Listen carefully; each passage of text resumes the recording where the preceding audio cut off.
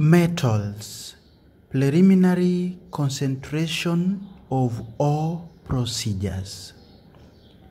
An ore is a rocky material which contains a particular metal or mineral. Ores are usually found on the earth crust. The method of obtaining the ore depends on the location of the ore relative to the ground surface.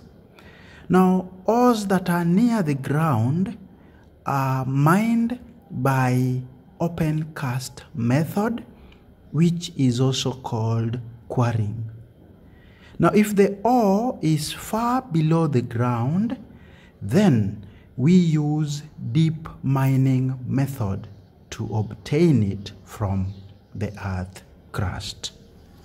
Most of the time, ores contain large amounts of rock, sand, and clay, which are collectively called gangue or simply impurities. Concentration of ore involves removal of most of these unwanted materials. Dear learners, this video presents the procedures involved in removal of unwanted materials from the metal ores. Welcome and stay on till the end.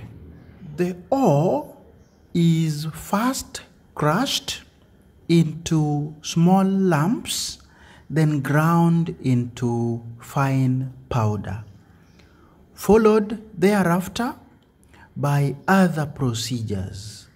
Now, these other procedures are classified into two. We have physical separations and we also have chemical separations. Let us have a look at the procedures that fall under physical separations. Under physical separation procedures, we also have two methods. One is froth flotation, and we also have magnetic separation. So, when it comes to froth flotation method, we have a representation of what goes on in the diagram that follows. So, in this large container, we have our powdered ore. The powdered ore is mixed with vegetable oil and water in this container that is on our left. Now, the liquid here is a mixture of vegetable oil and water, and we all know these are immiscible liquids. So, what happens is that the mineral bearing particles become surrounded by a film of oil, while sand and soil particles are wetted by water.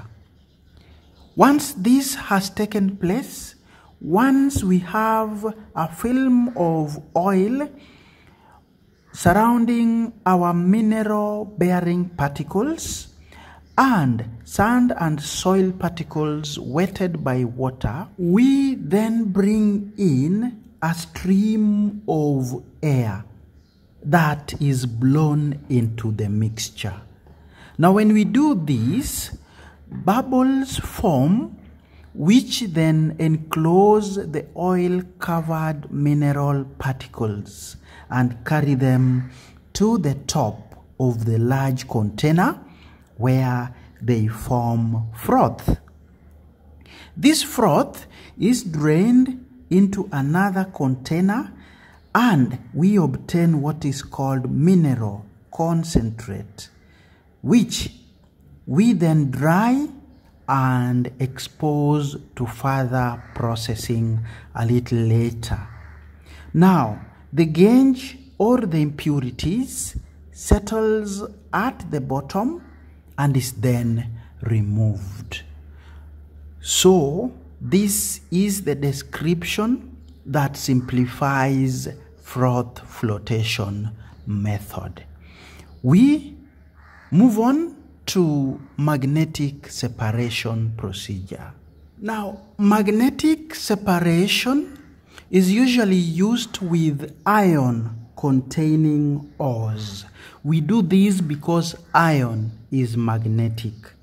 So in this case, the powdered ore is exposed to strong electromagnets which removes the iron containing ore from the unwanted materials. A very simple process. Let's finally have a look at the chemical separations. Chemical separation procedure is also called chemical leaching.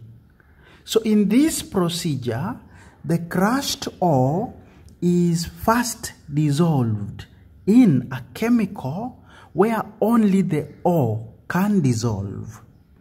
The solution is then separated from the insoluble materials.